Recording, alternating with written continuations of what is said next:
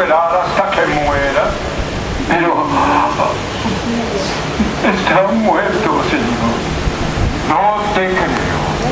Jesús es un hombre fuerte. ¡Guardia!